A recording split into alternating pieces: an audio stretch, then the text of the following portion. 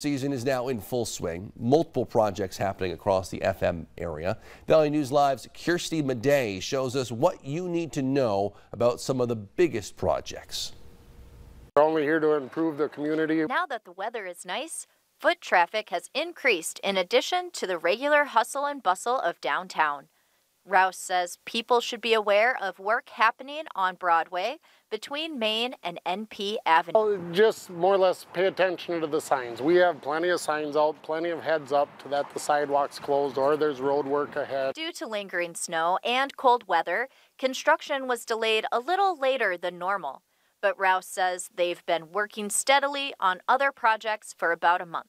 This particular project is for the new Pounds location, and should wrap up in about three days. The 32nd Avenue South reconstruction project is causing slowdowns, detours, and even confusion for some drivers.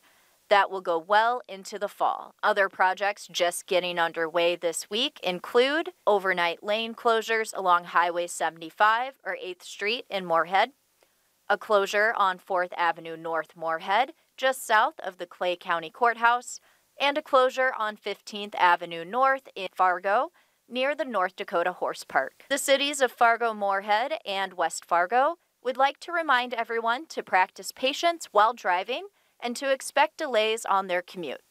Reporting for Valley News Live, Kirsty Madej. You can head to the streets page on each of the city's websites to get a more detailed look at the current and future projects. We have links to those on our VNL News app.